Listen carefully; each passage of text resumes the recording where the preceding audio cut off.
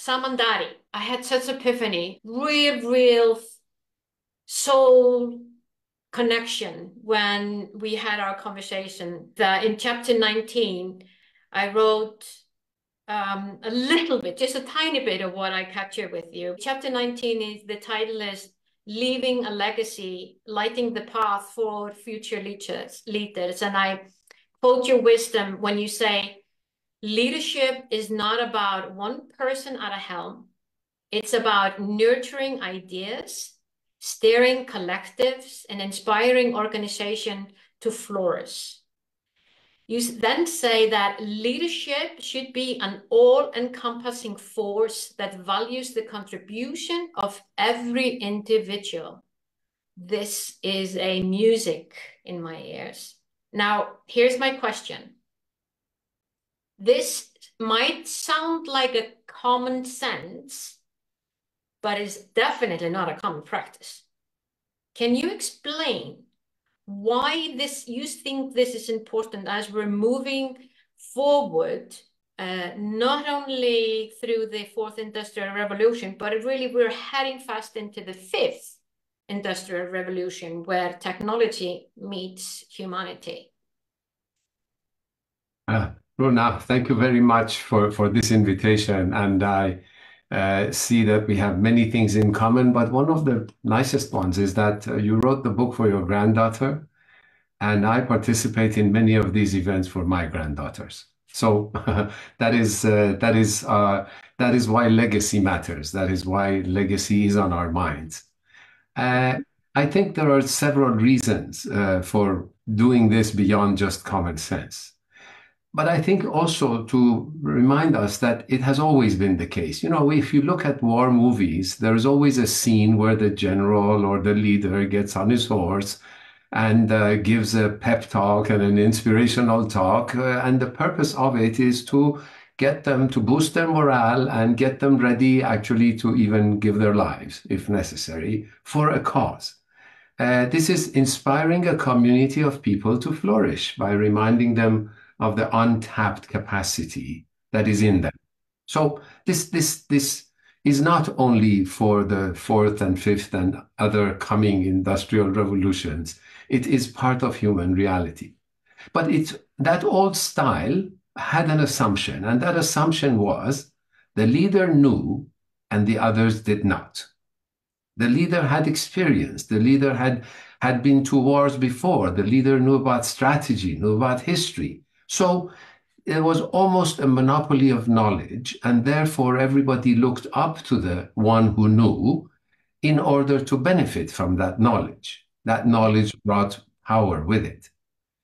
But what society has done now with the advances that we have with innovation and large scale access to knowledge, that monopoly has been eroded. The leader is no more the one who knows everything, it's not the repository of knowledge. And that is why access to knowledge is the right of every human being in our time, and participation in its generation, application, and diffusion is a responsibility that all must shoulder in the great enterprise of building a prosperous world civilization. And each individual will do that according to his or her talents and abilities, because justice demands universal participation. Now, uh, I can compare the process of the evolution of societies to that of a human being. At the beginning, it's just a seed, then a fetus, then a baby, and eventually a mature being. Its needs, capacities, and challenges evolve over time. Mm-hmm. This has happened in the style of leadership also. A child needs the parents to lead, preferably by example, but at the time, as the time goes by and maturity approaches, parents need to create the conditions for children to exercise more and more agency. It is then that children will start to co-create with parents. And in the same manner, the leader does not need anymore to know everything, but create the conditions for the team to discover what is needed. Because we do not know what is needed we have to discover it. Yeah. And that is, I think, also the one of the big challenges of our universities. They don't know what to prepare students for because by definition the future is unknown and more than in the past. Such wisdom in that. Yeah, thank you. In my second question in the book, I share your profound wisdom around ethical leadership and building trust. Can you tell us more about that concept and how you see that being one of the vital rules in leadership moving forward? First of all, I, I, would not engage in a theoretical conversation about the definition of, of ethics, but in a very practical one. I think ethics is about coherence or balance or equilibrium, whichever way you want, or even harmony if you want. This because in practice, we are never confronted with a fact in isolation. It's always in a context. One simple example. In Colombia, after 60 years of war, the government came to an agreement with the FARC in order to create peace. The fundamental value or principle the government had was to reach peace as fast as possible. When that agreement was put to public approval, it was denied because the fundamental value that people had in their mind was justice. So it's easy to talk about peace or justice individually and in abstract.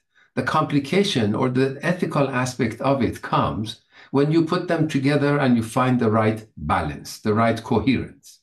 So we are living in a world where coherence can be found at all levels, starting with individuals. Are we living actually the question in a world where there is coherence within individuals, institutions, and communities? I guess not.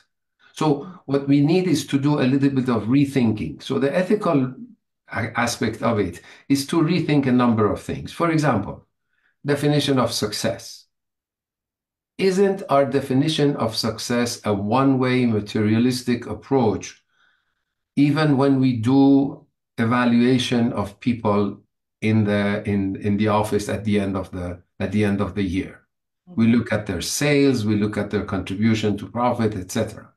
Mm-hmm. But there, there is a simple way to look at it differently. We can evaluate people not based, as we do in football, not based on the number of goals they made, but the goals they assisted. Yeah. It's already done. It's a little change of paradigm that you refer to also, a little nudge in our way of looking at things in order to move from an incoherent black and white, as it was just said, in the box or out the box, as we also have had many conversations with you and Nick uh, that I immensely enjoyed, but looking at it in a slightly different way. And you know, uh, also referring to the quantum uh, uh multi-level multiverse, uh, actually, before going to such complicated things at quantum, I would like to us to remember that we live in a multiverse world from the day we are born, most of us, because we have two eyes. With one, we do not see death. So the fact that things are not either or, but a combination of things that put together in the best way is also in the physical reality of how we see things.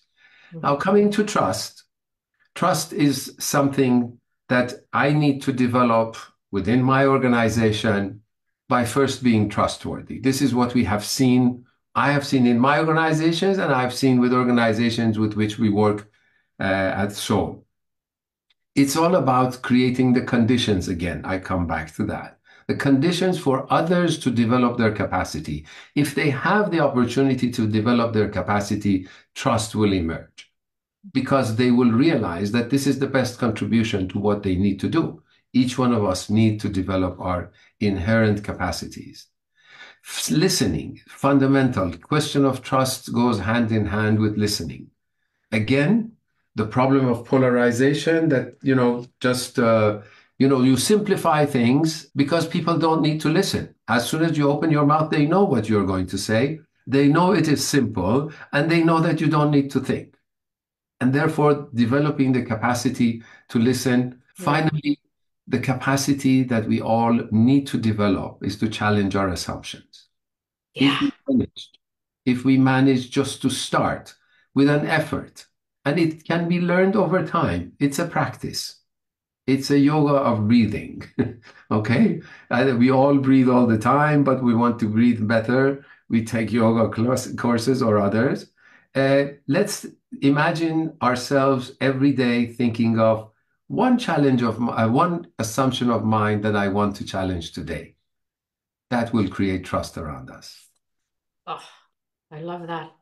And yeah, the our assumptions, holy moly, they are endlessly. Thank you so much. That is so good.